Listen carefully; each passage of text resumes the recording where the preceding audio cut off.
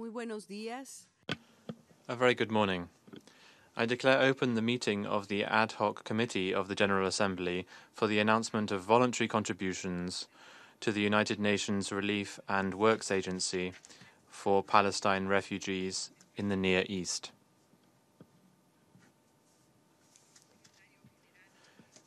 Secretary General Antonio Guterres, Your Excellencies, General Mr. Pierre Krähenbühl, uh, I am truly very grateful for your presence here today at this very important meeting. Last September, at the ministerial meeting on UNRWA, I was encouraged by the many countries that pledged support for this essential agency. Together, we managed to raise over $200 million in six months, helping to ensure that schools and other basic services were able to continue. But sadly, we find ourselves meeting again today in the context of a serious funding shortfall. In 2019, UNRWA needs $1.2 billion to deliver its regular programs to 5.4 million Palestine refugees, 1.5 million people of whom have been affected by humanitarian emergencies. The current projected shortfall is $211 million. And for this, UNRWA provides health care, housing, social services, financial and emergency assistance for over 20% of the world's refugees. It runs over 700 elementary and preparatory gender balanced schools that teach more than half a million girls and boys with a focus on education for peace, human rights, and tolerance. It, is, it also provides technical vocational training and higher education for over 7,700 students and offers scholarships that give young Palestine refugees the chance to attend university. This really is value for money. Last year, UNRWA managed to bridge a bigger shortfall of $146 million thanks to the generous support of member states, as well as over $90 million in internal cost saving measures. And the agency continues to undertake reforms to improve its efficiency and effectiveness.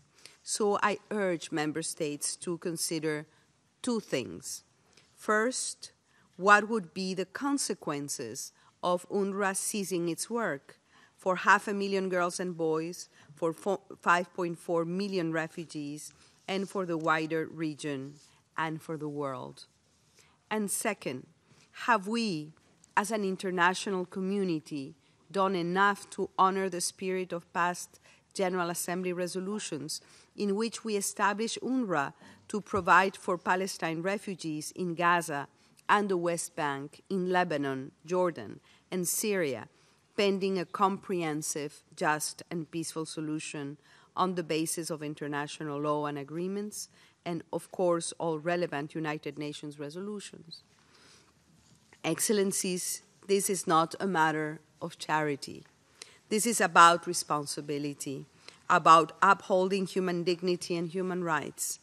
This is about keeping the promise we made through the 2030 Agenda to leave no one behind this is about solidarity with our Palestinian sisters and brothers.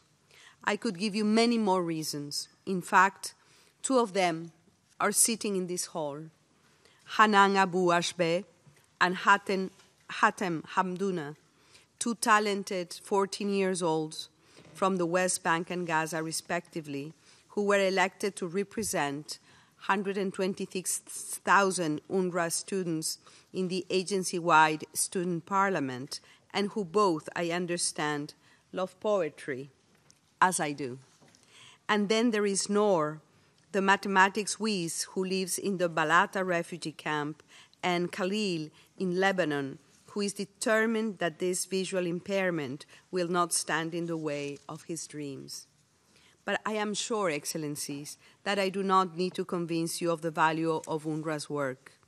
Your presence here today sends a powerful message that you care and that you're willing to act, of course.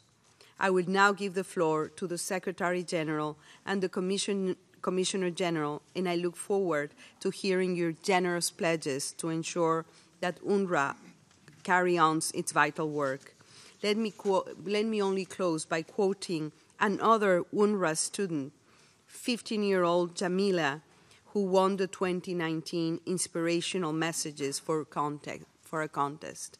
And I quote her Why don't we leave aside malice, animosity, and hate and search for love inside our hearts before it is too late? I thank you.